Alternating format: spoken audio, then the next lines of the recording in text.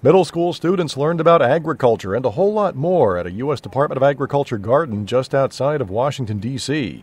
The students were on a field trip to the Agricultural Research Service's Student Discovery Garden.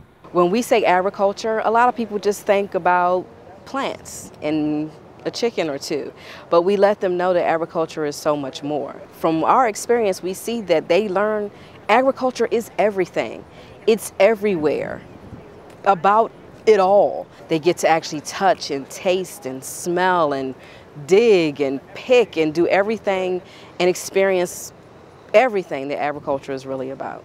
The students from Buck Lodge Middle School in Adelphi, Maryland, seem to enjoy the hands on learning experience. There's a saying, and it's called Tell Me I Forget, Show Me I Remember, Involve Me I Learn. I actually like the bugs most girls think that they're disgusting and stuff, but I think it's pretty interesting. We have a bee problem where like the bees are starting to run out. So if there aren't any bees, there aren't there's nobody to pollinate the plants, and if there's nobody to pollinate the plants, there won't be any food for living other living things to eat.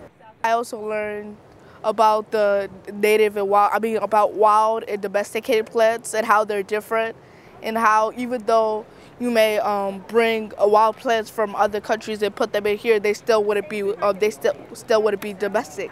ARS says the garden has come a long way since it was started in 2009. We had just a few visitors, and as of this summer, we've had over 2,000 people to come through, visiting scientists, students, community leaders.